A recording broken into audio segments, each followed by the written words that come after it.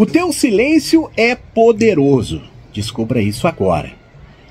É, o primeiro passo para você descobrir e usar o teu silêncio de uma maneira forte, de uma maneira poderosa, para que isso dê certo, para que isso corra da maneira mais poderosa na tua vida, de um jeito que você faça o homem sentir a necessidade de correr atrás, é quando você estabelece o contato inicial, onde você conversa com ele normalmente, porém você é mais distante. Você não tem que silenciar de um jeito, como sempre a gente fala assim, cara, às vezes as mulheres confundem o tal do contato zero com uma circunstância de, ah, vou bloquear, vou sumir, vou desaparecer, vou tirar ele da minha vida. Não é dessa forma que as coisas funcionam. E eu vou te ensinar algo que de repente ninguém te ensinou até hoje. Contato zero, meu amor.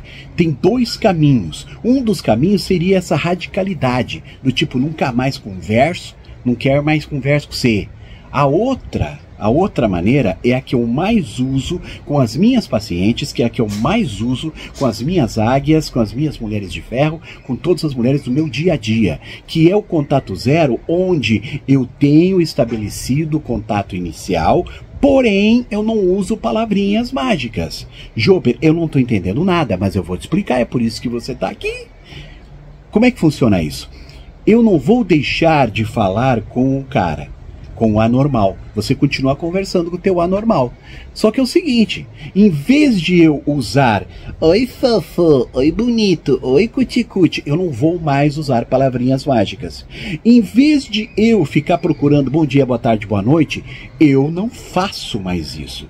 Em vez de eu estar o tempo todo disponível, o que que eu vou fazer nesse momento? Eu simplesmente vou usar a regra 3 do Jober. Às vezes eu respondo rápido, às vezes eu demoro e às vezes eu falo só um pouquinho, já falo contigo. Então eu estou fazendo um contato zero de uma maneira normal, gentil, mas mas eu não estou alimentando o relacionamento. E convidar o cara para sair, para ver, coisa e tal, mas nunca. Então, isso é um contato zero de uma forma inteligente, que não precisa ser aquela coisa de nunca mais falo com ele. Entendeu? Quero saber de você agora nesse momento. Você entendeu o que é um contato zero? Por favor, se você puder, escreva: Jober, eu entendi o contato zero. Jober, eu entendi o contato zero. Então comece fazendo isso na tua vida. Tira aqueles elementos que faziam com que, a, com que o cara já tivesse a certeza de que você está na mão dele. Lembrando você, o teu silêncio é poderoso, mas para ser poderoso, você tem que descobrir o passo a passo do que eu estou te ensinando agora. O segredo está aqui no que eu estou te falando. Quer ver outro passo que é importante? Então você fez o contato zero da maneira correta. Continuo presente na vida do cara, pero no mucho. Estou ali, estou presente, mas estou distante. O que, que eu faço agora? Eu reduzo, reduzo a minha comunicação eu reduzo aquilo tudo que eu tinha. Eu dei uma, uma entrada aqui para você, essa coisa de ficar eu, bom dia, boa tarde, boa noite. Não, eu não tenho essa necessidade. Eu não tenho que ficar perguntando se ele tá bem, se ele tá legal, se ele comeu, se ele foi ao banheiro. Eu não tenho que saber nada disso. O que eu tenho que saber é que a partir de agora, eu não vou ficar indo atrás frequentemente. Eu não vou estar me oferecendo para sair, me oferecendo para alguma coisa, querendo saber do pai, da mãe, da irmã, da família. Eu não me interessa mais. Por mais que doa em meu coração, eu tenho que mostrar para esse homem que eu mudei. É o meu silêncio trabalhando. E o silêncio não é calar a boca. O silêncio é reduzir a presença, reduzir a oferta, a facilidade de ter acesso a você. É a escassez da tua presença na vida dele que faz com que esse cara meu Deus, o que, que aconteceu? Não estou conseguindo entender essa mulher. Agora, eu não entendo você porque você faz a escassez comigo. Porque eu sei que você vem aqui no meu canal, você vê esse conteúdo maravilhoso que eu passo para vocês e você ainda não se inscreveu aqui e não me segue. Meu amor, eu preciso, com todas as letras garrafais, de você. Inscreva-se no canal, é o único jeito que eu tenho para crescer na plataforma e saber que você aí, ó, tá gostando do meu trabalho. É o único jeito. Opa, gostou, tá comigo. Então eu estou fazendo a coisa certa. Aqui, crie o teu espaço. Sim, para que o silêncio funcione e seja poderoso, Crie o teu espaço. É você com você. Não tem a presença do Dagoberto. O anormal não faz parte da tua vida. Tá entendendo? Crie o teu espaço. Você precisa ter a tua vida. Você precisa ter o teu tempo. Você precisa ter a tua, a, a, a, sabe, a, tu, a tua alma presente na tua vida. Porque às vezes você é só um corpinho bonito malhadinha, futidinha, mais treinadinha, toda bonitinha, arrumadinha, perfumada, mas é só um corpinho. Não tem alma. Sabe? Não tá viva. Não é uma águia do Jober. Ah, e se você quer ser uma águia, o link tá aqui embaixo, tá? Prepare-se para entrar em nosso grupo. Olha aqui, escuta o que eu tô te falando. É um corpinho bonito sem alma, porque você não está cuidando de você, da tua inteligência, da tua, do teu espiritual, do teu moral, sabe? Não está cuidando do emocional. Você está perdida, fia, atrás de um calça caída que não vale nada. É um Chico Toicinho qualquer, mas você não consegue ver isso. Então tire aquele tempo, você com você. Entendeu? Você com você. Você não tem mais que ficar pensando apenas se ele isso, o que, que ele está fazendo, o que, que ele deixou de fazer, não me interessa. Não me interessa futebol clube.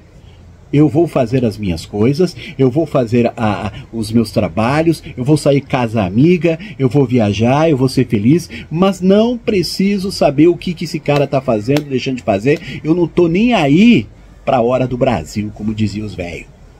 Né? Então, entendeu isso? Captou essa mensagem? Vamos para o próximo passo. Qual que é o próximo passo? Eu tenho que reduzir, reduzir a, a, a atenção. Eu tenho que manter o meu silêncio. E como é que eu reduzo? Por que, que eu tenho que reduzir? Eu tenho que falar menos? Você já falou isso, Jober? Não. É outra coisa. Eu vou manter o meu silêncio. O que, que é? É tipo assim, eu vou ser breve o cara me procurou, ele veio conversar comigo, ele veio puxar historinha, em vez de eu ficar conversando, puxando assunto e dando trela, eu não vou, eu vou ser breve, eu vou dar minhas respostas, eu não vou ser uh, grosseira, eu não vou ser ignorante, mas eu não vou ser mais aquela coisinha fofa, amiga, não tem isso mais, acabou. Agora, nesse momento, eu vou ser mais breve, eu vou dizer para ele assim, ó, oh, tudo bem? Tudo bem. Hã? Tá legal, bacana, legal. Também acho, não sei o que. Eu vou ser menos. Menos. Por quê? Porque menos é mais. Quanto menos você dá ração pro teu gato, mais ele sente fome. Quanto menos você dá atenção, mais ele sente falta. Quanto mais silêncio você dá, mais ele te procura. Então, preste atenção no que eu estou te falando. Isso é fundamental para você entender. Ai, Jobre, mas ele me procurou. Isso é bom. É bom. Mas aqui ele vai te procurar porque começou o desespero. Ele está querendo que você faça parte do harém. Ele é o sheik. Ele vai fazer isso mesmo. Vai começar a te dar não sei o que, não sei o que, não sei o que. Agora, tá, Jobre, mas mesmo eu sendo breve, mesmo eu falando pouco, menos eu, uh, mesmo eu diminuindo a atenção para ele, o que, que eu posso fazer, porque eu sei que vocês adoram esse tipo de coisa, para que eu dê um gatilho na cabeça dele, para que ele venha correndo atrás de mim, sabe essas coisas saltitantes que vocês falam para mim, que vocês adoram isso. Ai, mas o que que eu faço assim? Ai, para causar na vida dele, para ele sentir que eu tô diferente, para ele sentir que eu sou uma mulher maravilhosa, para ele sentir ficar desesperado. Eu sei que vocês fazem isso porque eu atendo vocês todos os dias. 12 mulheres por dia, para você ter uma ideia. Então eu vou te explicar aqui, ó. Você diminuiu a conversa, mas quando você tiver essa breve conversa, você pode utilizar o que eu chamo de inspiração de memória. Tá? O que, que é inspiração de memória? Quando você conversar com ele, você entre uma conversinha rápida e outra, você sabe, você usa uma, uma coisa positiva que aconteceu no passado. Uma coisa bacana que vocês dois estavam juntos, mesmo que vocês sejam ficantes de pouco tempo, mas você usa uma inspiração que passou. Eu vou dar um exemplo aqui. Tá, ele conversou contigo, puxou o assuntinho, você tá naquela, vou dar menos ração pro gato. Mas aqui, ah, não sei o que, meu, mesmo que não seja verdade, mas um exemplo. Ah, sabe quem que eu, que eu encontrei ontem? A Dolores. Sim, encontrei a Dolores, ela tava no shopping ontem. Meu, ela, Dolores, meu, tu lembra aquele dia que a Dolores estava com a gente lá no ginásio, não sei da onde, não sei do que, no jogo de vôlei, coisa e tal, que você tá, tá, tá, tá, tá, tá. Naquele dia, que você não sei o que lá derrubou um copo de, de cerveja e tal, mas foi nesse dia também que esse cara te deu o primeiro beijo. Você não vai falar do primeiro beijo, você vai falar da cerveja. Uma coisa que aconteceu, mas é um dia chave, é um dia raiz, é um dia importante. Você vai ativar a memória positiva desse homem. Você vai fazer ele lembrar de um momento bom. Você fala da cerveja, mas na cabeça dele, ele sabe que aquele dia foi o primeiro beijo, ou ele pediu um namoro, ou ele te abraçou, chegou perto de você. Então você ativa sempre gatilhos positivos. É por isso que eu falo, essas são as minhas inspiração de memórias positivas. E você pode usar isso mesmo falando pouco com ele, diminuindo diminuindo a intenção, diminuindo a disposição. Entendeu? Então, o que eu preciso que você entenda que nesse momento você vai ter que esperar para ver a reação dele. Fica ligada no que ele faz. Depois de você lançar esse passo a passo que eu estou te ensinando, você vai fazer o seguinte: você vai ficar ligada de como ele vai reagir. Em cima da reação dele, você fará a sua ação. Em cima do jeito que ele trabalhar, você vai começar a pegar mais cancha, como diz no Rio Grande do Sul, vai pegar mais confiança e vai começar a fazer os próximos passos em cima daquilo que ele faz. E não esquece jamais, esteja pronta para agir.